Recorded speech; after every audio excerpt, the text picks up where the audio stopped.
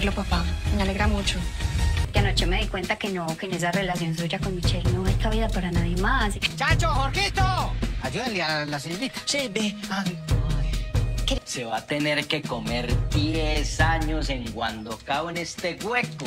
Hola, hola amigos faranduleros. Hoy te compartiremos el resumen del próximo capítulo de la exitosa telenovela Rigo.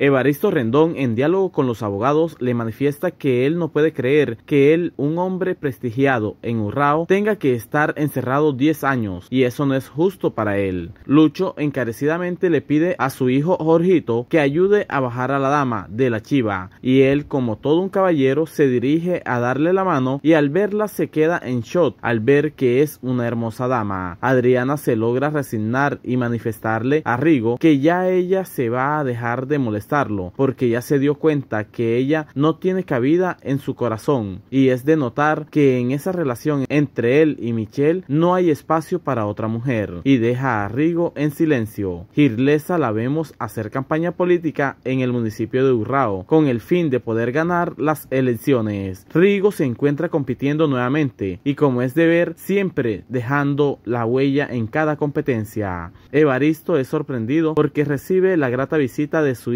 Elena.